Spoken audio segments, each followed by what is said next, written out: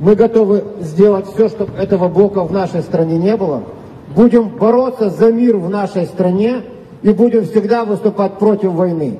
А НАТО должно уйти на свалку истории.